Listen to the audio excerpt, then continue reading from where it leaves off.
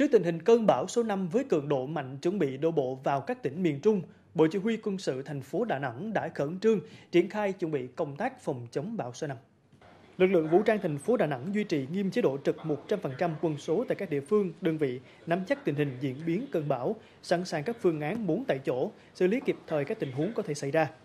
Bên cạnh việc chặn chống, đảm bảo nhà cửa, kho tàng, doanh trại, Bộ Chỉ huy phối hợp với các địa phương rà soát khu vực trọng điểm có nguy cơ sạt lở đất đá, hồ đập có khả năng mất an toàn để có biện pháp ứng phó hiệu quả. Ban chỉ huy quân sự các quận huyện phối hợp bộ đội biên phòng đồn đốc các tàu thuyền hoạt động trên biển tìm nơi trú tránh an toàn. Các phương tiện cano, xe tăng thiết giáp và dụng cụ chống bão được huy động sẵn sàng để thực hiện nhiệm vụ cứu hộ cứu nạn khi có tình huống khẩn cấp xảy ra.